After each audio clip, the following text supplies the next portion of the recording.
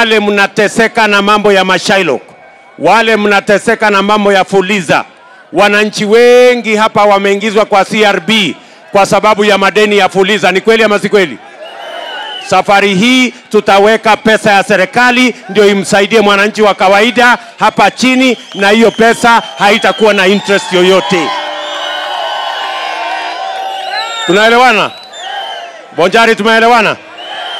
Jambo la tatu, bei ya vyakula imepanda. Ni kweli ama si kweli?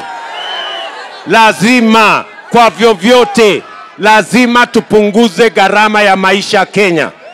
Wananchi wengi wanalala njaa, wananchi wengi hawana vile ya kulisha familia zao, na matatizo yetu kubwa ni kwamba kuna watu wanajiita viongozi, hawajawahi kulala njaa siku moja, hawajui kulala njaa ni nini, wanasoma kulala njaa kwa magazeti na hawajawahi kutembea mguu tupu, hawaelewi kupiga lami mpaka kiatu ikatike ukitafuta ajira ni nini.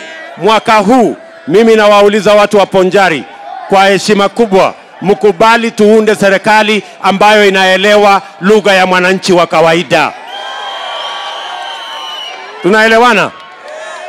Ndio mimi nimesema tutaweka pesa ya kutosha kwa kilimo, tupunguze gharama ya mbolea, tupunguze gharama ya mbegu, tuhakikisha kwamba mkulima anapata bei ya sawasawa kwa mazao yake, kama ni mahindi, kama ni chai, kama ni kahawa, kama ni miwa, apate bei ya sawasawa, ili tutumie kilimo kuweka pesa kwa mfuko ya mkulima na tuzalishe chakula ya kutosha, chakula ifike hapa sokoni kwa bei nafuu, ili kila Mkenya aweze kulisha familia yake na tuondoe aibu ya njaa katika taifa letu la Kenya.